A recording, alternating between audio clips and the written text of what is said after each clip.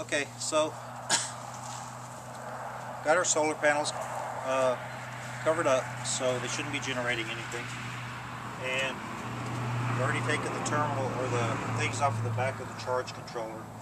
Now we need to actually connect the leads from the solar panels up to the charge controller. So looking on the back of the charge controller it's got the negative and the positive which negative is going to be black, positive is going to be red and it says solar panel so this is where we want to connect it.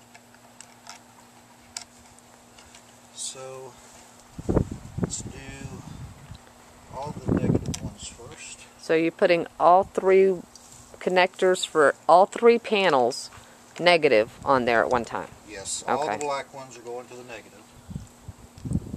Let's get that tightened up. And just a note for the men, do not take your wife's good comforter to cover up the solar panels. Don't take it off the bed or anything. This is an old one we were going to donate, so Now we're going to do the positive ones, which are the red ones.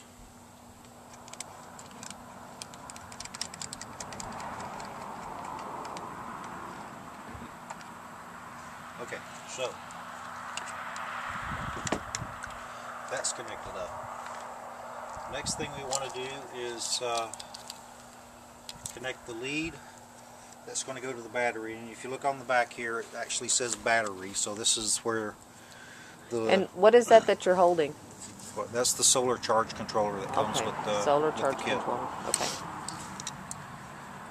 okay so same thing black goes to negative red goes to positive which is almost always true But the nice thing is, for people like me that don't know that that's almost always true, um, I notice that there's little pluses and minuses and color coding for us. So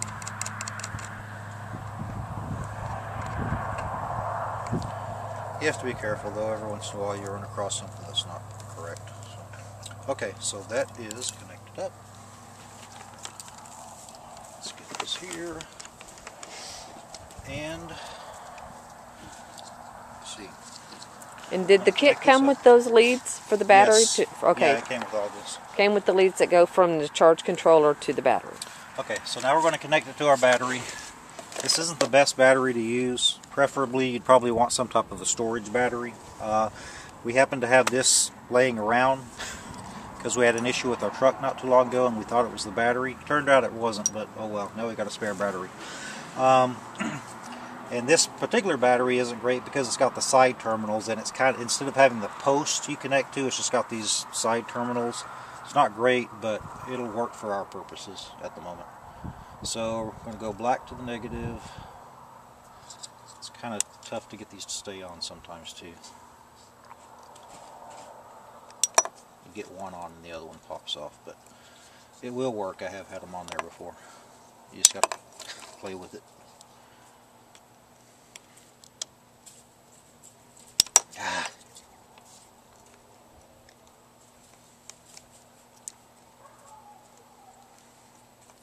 So it doesn't make a difference which one you hook up first, or would it make a difference which one you hooked up this first if it I wasn't covered? no, in this instance, I don't think it does because basically you're not going to have anything flowing until you get both of them done. Boy, why does this not want to connect now?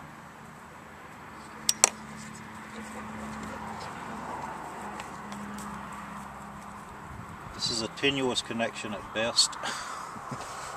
but for our purposes, just to show how this works, it'll work at the moment. Until we get something better rigged up. So Okay. that is connected. And then, so you get a power switch here, you flip that on. And then you push the button for your display.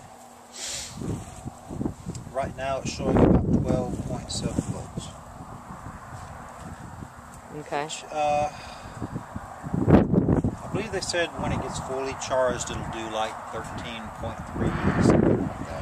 So. Again, our connections aren't great there, okay? Because we're working with a side terminal battery.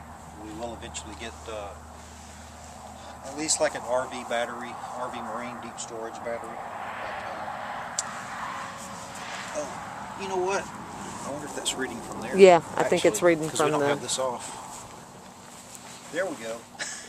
Yeah. All right. That makes more sense. Yeah, we. I think we were reading. I don't know what we were reading. From the battery, I think. Yeah, I think maybe we were reading from the battery on that. It was feeding back in. Because that battery should have been charged up, and what the controller is showing now is that it is. It's showing about 13.3, 13.4 volts roughly. It's bouncing around a little bit, but um, showing that it is charged. This makes sense because we've actually had this connected up for a couple of days charging that battery. Just took it all apart to make this video to show you how to uh, set it up. So when we first connected it, that battery was down around 12.7 volts, something like that.